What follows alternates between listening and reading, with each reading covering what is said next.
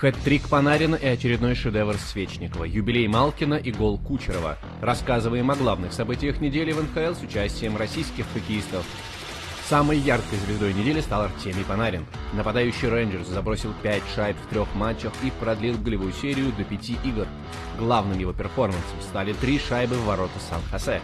Это был первый хэт-трик Хлебушка в форме Рейнджерс и третий в НХЛ. С 43 очками в 33 матчах Панарин занимает восьмое место в лиге и идет по графику на 106 очков. Но главный гол недели забил Андрей Свечников. 19-летний нападающий Каролины во второй раз за полтора месяца отличился в лакросс стиле, поразив ворота Коннора Хелебака из Виннипега. В октябре он такой же трюк проделал в игре с Калгари. До него за 102 года в НХЛ подобное не удавалось никому. Евгений Малкин вернулся в строй после болезни и в единственном матче сделал пас и забил гол, ставший для него 400-м в НХЛ. Также он обошел Алексея Ковалева и вышел на четвертое место по результативности среди россиян в истории лиги.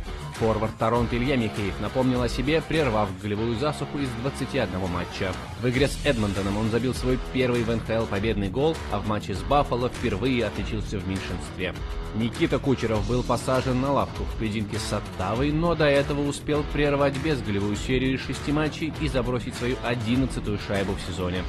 Валерий Нечушкин в трех матчах забил только один гол, но какой! В последних 12 встречах в активе форварда Колорадо 6 шайб.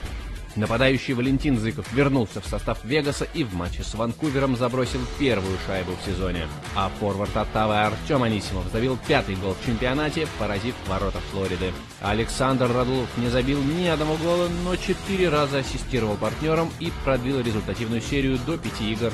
Традиционно не подкачали вратари. Сергей Бобровский одержал только одну победу в трех матчах, но отразил в них 94 броска из 100, дав понять, что кризис начала сезона у него позади а голкипер Вашингтона Илья Самсонов продлил личную победную серию до трех игр, сделав 26 сейвов в поединке с Тампой. На этом все. Спасибо, что были с нами, и до новых встреч. Пока!